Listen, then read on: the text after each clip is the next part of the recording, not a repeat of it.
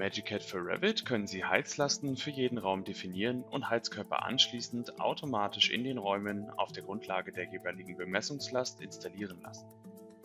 Heizkörper werden über den Workflow Produkt installieren ausgewählt und anschließend automatisch entsprechend der geforderten Heizlast und der Lage der Fenster im Raum platziert.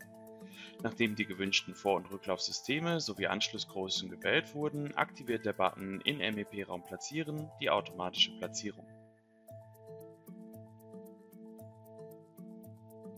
Im Dialog Heizkörperdimensionierung für Räume können Sie zusätzliche Informationen wie Systemcodes, Darstellung des 2D-Symbols oder Anschlusspunkte und Ventileinstellungen vornehmen.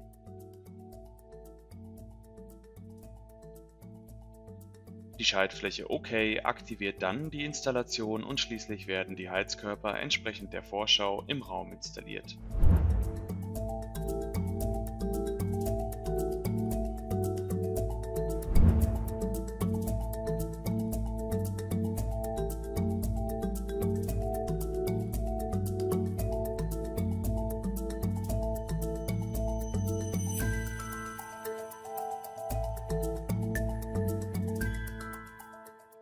In Magicat für Revit ist es möglich, Energieverteilungsschemata automatisch auf der Grundlage der Verteiler und ihrer Systeme zu erstellen.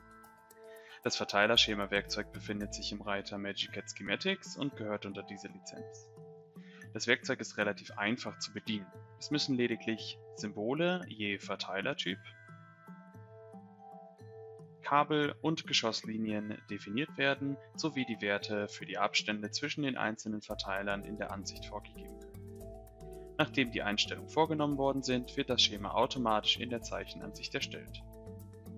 Die Symbole und Linien werden bei der automatischen Erstellung des Schemas mit den korrespondierenden Objekten des Modells verknüpft.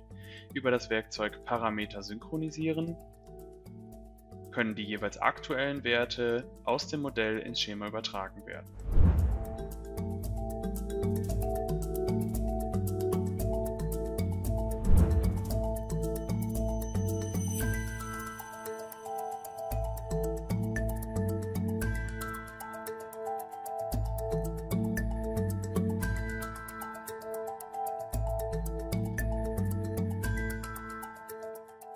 Über das Werkzeug Verbindungen zu HKLS lassen sich elektrische Verbindungspunkte zu Objekten aus den HKLS-Gewerken herstellen. Magicat sucht hierbei nach elektrischen Konnektoren aus allen Kategorien in den Objekten aus den Heizungs-, Klima-, Lüftungs- und Sanitärgewerken. Über Datensatz bearbeiten lassen sich die Verbindungspunkte sowohl für die Elektrotechnik als auch für die Tele- und Datensysteme verwalten. Hierbei können wir in den Eigenschaften jedes Verbindungspunktes sowohl Beschreibungen und weitere Eigenschaften definieren sowie ein 2D-Symbol hinterlegen. Die Gültigkeit kann nach Systemen gesteuert werden, sodass wir zum Beispiel einen separaten elektrischen Anschlusspunkt für die Pumpenversorgung definieren können.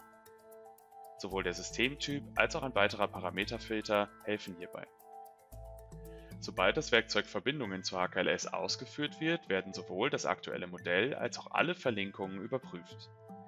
Alle aufgrund der Gültigkeitseinstellung im Datensatz möglichen und erstellbaren Verbindungspunkte werden angezeigt.